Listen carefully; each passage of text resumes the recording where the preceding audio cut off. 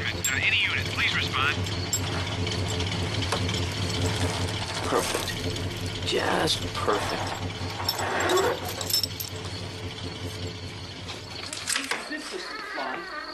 I can't believe you loaned me your car without telling me it had a blind spot. Blind spot. I could have been killed.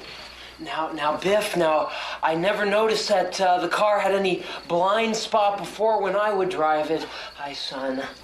But what are you, blind, McFly?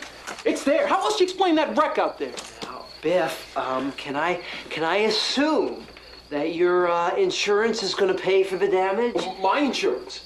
It's your car. Your insurance should pay for it. I, I want to know who's going to pay for this. I spilled beer all over when that car smashed into me. Who's going to pay my cleaning bill?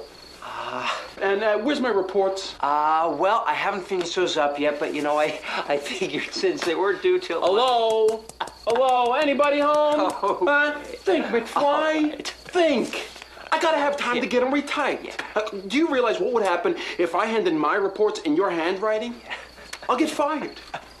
You wouldn't want that to happen, would you?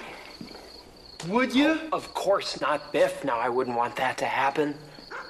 Now, look, I'll uh, finish those reports on up tonight, and I'll run them on over first thing tomorrow. All right? Hey, not too early. I sleep in Saturday. Oh, McFly, your shoes untied. Oh, Don't be so gullible, McFly.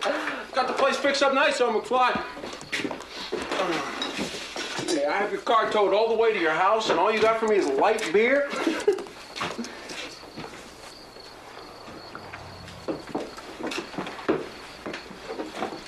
what are you looking at, butthead? Say hi to your mom for me. I know what you're gonna say, son. And you're right. you're right.